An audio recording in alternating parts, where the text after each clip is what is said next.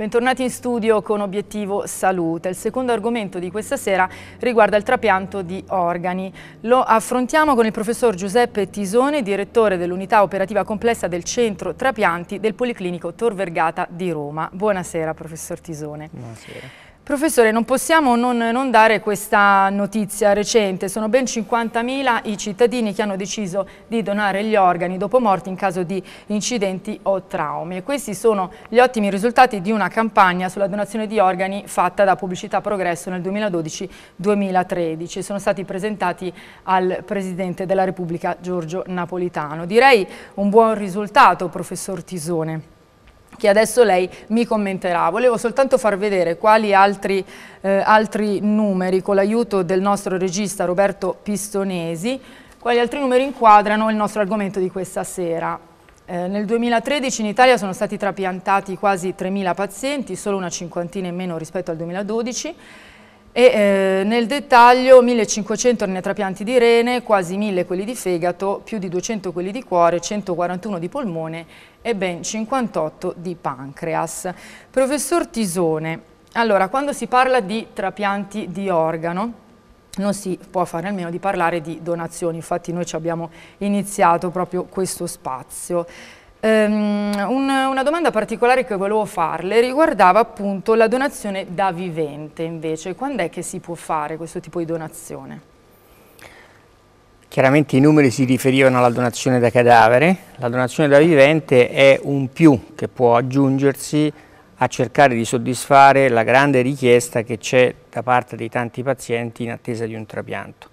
Il trapianto da vivente nella maggioranza dei casi è un trapianto di rene, perché noi abbiamo due reni e i nostri due reni funzionano al 50% in una persona normale, quindi se ne, se ne togliamo uno l'altro rene comincerà certo, a funzionare al 100% e quindi possiamo vivere anche senza un rene. Esiste anche la possibilità di donare una parte del proprio fegato per poter trapiantare anche in quel caso un altro paziente. Stiamo sempre parlando di trapianti tra consanguinei, quindi tra membri della stessa famiglia, in genere nella maggioranza dei casi tra genitori e figli o tra fratelli, e sorelle, e certo. quindi nell'ambito della, del, della, de, della, famiglia. Ci sono altri organi che possono interessare la donazione da vivente? Esiste la possibilità, anche se i numeri sono molto piccoli, di donare anche una parte del proprio pancreas per poter fare il trapianto o anche una parte del proprio intestino. Bene, per quanto riguarda sempre questo tipo di donazioni, ehm, come siamo indietro rispetto ai partner europei oppure no? Beh, lei ha dato un dato molto significativo, i 50.000 che si sono iscritti negli ultimi due anni sono soltanto diciamo, la parte finale di un movimento che è iniziato già da numerosi anni. L'Italia vent'anni fa si attestava forse tra le cenerentole europee, nel senso donatori per milione di abitanti, eravamo agli ultimi posti della classifica. Negli ultimi anni siamo arrivati ai primi posti della classifica. Ma cosa dobbiamo dire grazie? Alle campagne di sensibilizzazione? Sicuramente alle campagne di sensibilizzazione, al fatto di spiegare bene di che cosa stiamo parlando, perché c'era poca cultura, c'è poca chiarezza forse. A questo proposito, professor Tisone, ci spiega infatti perché è importante donare gli organi e come avviene? Guardi, io ho una frase che ho già detto in altre occasioni e che però secondo me è molto significativa. Per me è il modo di trasformare una morte inutile in qualcosa di utile per gli altri. Perché purtroppo stiamo parlando di un ex paziente perché ormai nel momento in cui viene fatto l'accertamento di morte stiamo parlando di un cadavere e quindi il cadavere a quel punto onestamente non ha più possibilità. E Però dà la possibilità di curare tante altre persone, di esatto. dare la vita a tante altre Assolutamente persone. Sì.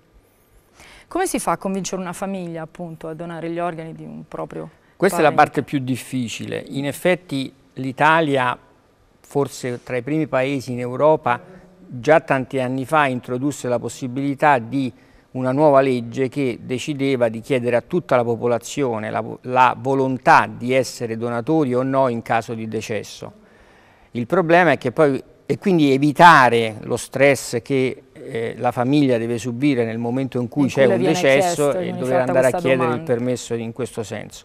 Purtroppo la legge poi nella pratica non è mai diventata operativa e quindi ad oggi ci troviamo ancora a chiedere il consenso ai familiari.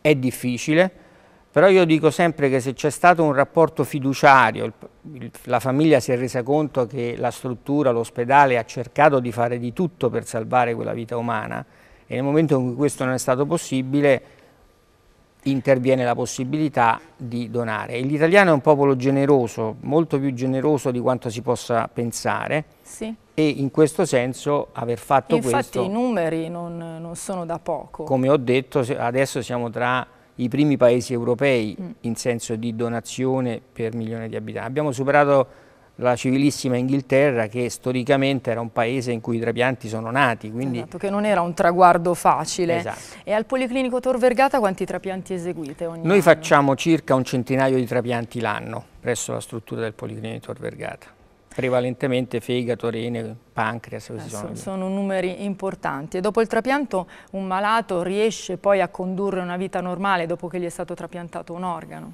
Io dico sempre al paziente quando lo mettiamo in lista che il nostro obiettivo è di riportarlo ad una vita normale. Il nostro obiettivo non è di creare un altro paziente, ma di creare una persona che sta bene per la sua età. Ci sono pazienti, nostri pazienti che hanno partorito, hanno avuto figli, c'è chi ha fatto la maratona di New York, quindi per dire che si torna a fare una vita completamente normale. Assolutamente normale. Eh, io ho qui un dato che soltanto il 10,4% di chi è stato trapiantato ha bisogno di un'assistenza parziale. Che cosa vuol dire? Significa che è una restituzione ad una qualità di vita assolutamente normale. Quindi l'obiettivo e il risultato è quello di riportarli a fare una Quindi vita normale, che non significa essere assistiti. Cioè significa Guarda poche operazioni, infatti solo il 3,4% ha bisogno di un'assistenza totale, direi che è un dato eh, minimo. Ehm, quali sono le ultime novità allo studio per quanto riguarda i trapianti di reni e fegato?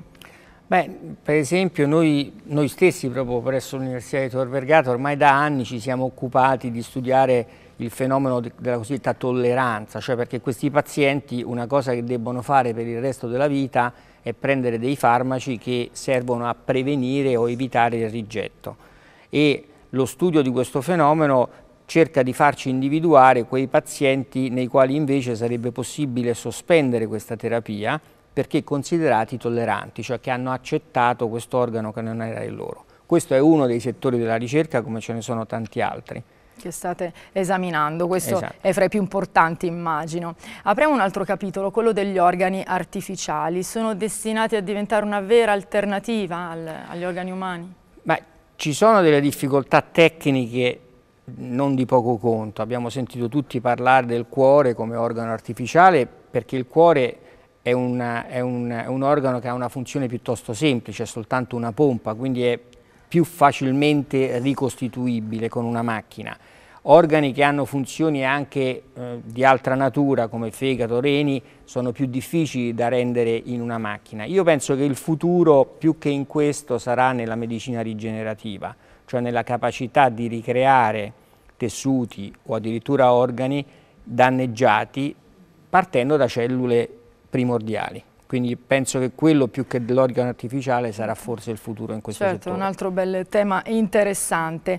Allora, a proposito dei malati in lista d'attesa, nel 2013 in Italia erano 8.828 per la precisione.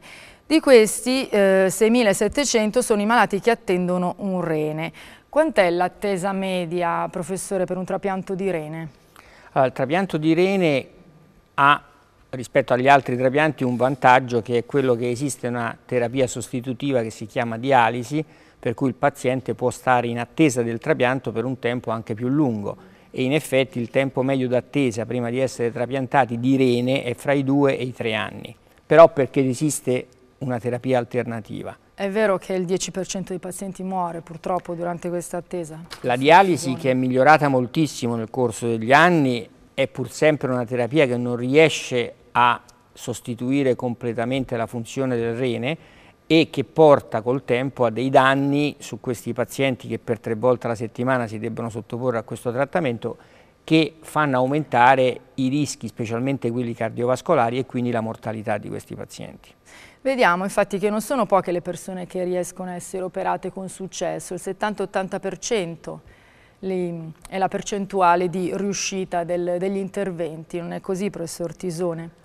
Eh, questi sono i dati del, dei risultati, i risultati sono strabilianti perché stiamo parlando di malattie incurabili, questo è un concetto che va ben detto, cioè invece in questo avere un 70-80% di successo per una malattia incurabile è un grandissimo risultato. Il problema che ha accennato fin dall'inizio è che la chirurgia sostitutiva, cioè la chirurgia dei trapianti, ha il limite degli organi per trapiantare, quindi pur quando arriveremo a una grandissima donazione, a utilizzare tutti i donatori possibili, forse non riusciremo mai a soddisfare la grandissima richiesta, perché uno dei problemi non sono tanto i pazienti che riescono ad entrare nelle liste d'attesa, ci sono dei pazienti che non riescono nemmeno ad arrivarci alla lista d'attesa perché magari muoiono prima e quindi non riescono ad avere questa, questa opportunità. Certo, professor Tisone, lei appunto diceva che i dati eh, sui donatori in Italia sono incoraggianti, quindi secondo lei comincia decisamente a esserci questa cultura della donazione nel nostro Paese? Assolutamente sì, e come ho detto eh, l'italiano è sempre stato individuato come un, un, un individualista, no? l'italiano è un po' egoista come, come cultura. Questo è un esempio che non è vero, l'italiano se coinvolto e, e ben spiegato è generoso ed altruista. Quindi io penso che in questo senso abbiamo fiducia, abbiamo un fi fiducia che si può allargare anche in altri settori. Ecco, questo è un esempio. Quindi non è soltanto eh, un problema di solidarietà, però forse anche di organizzazione. Sicuramente di organizzazione. L'organizzazione è fondamentale perché è un lavoro complesso che coinvolge tantissime eh, persone e quindi l'organizzazione è, è, è cruciale in questo tipo di attività. E com'è in Italia? Siamo in Italia lo dimostrano i nostri risultati, lo dimostrano quello che facciamo, secondo... All'altezza. Siamo all'altezza, direi siamo tra i primi, quindi non, non solo all'altezza, ma siamo, è un'eccellenza del nostro Paese, che ci viene riconosciuta anche a livello internazionale. Quindi sono efficaci anche le campagne di sensibilizzazione, secondo lei fanno molto? Sono fondamentali. Per quanto la riguarda gente... la donazione di organi, di sangue, midollo e anche cellule staminali? Tutto, sì, perché la gente deve conoscere, quando conosce risponde in modo positivo. Se, se si resta nell'ignoranza, l'ignoranza non è, non, è, non è bene certo, per nessuno. non giova a nessuno. Stiamo vedendo le immagini di un trapianto. A questo proposito, allora, tornando al trapianto in sé, eh, quali sono le complicanze più frequenti che possono verificarsi? Beh, è chiaro che dipende molto da che tipo di trapianto stiamo parlando, perché le complicanze di un trapianto di fegato sono diverse da quelle di rene, cuore o polmone in generale la complicanza più diffusa che accomuna un po' tutti i trapianti è da una parte il rischio del rigetto, dall'altra il rischio delle infezioni, perché dovendo ridurre le nostre difese immunitarie per evitare il rigetto, un pochino esponiamo questi pazienti ad un rischio, specialmente nell'immediato peri e post-operatorio, ad un rischio infettivo più elevato rispetto alla popolazione normale. E come si possono scongiurare queste complicanze? Queste complicanze chiaramente è, è, è, multifattoriale, ci sono tante, tante, tante cose che ce le fanno scongiurare. Sicuramente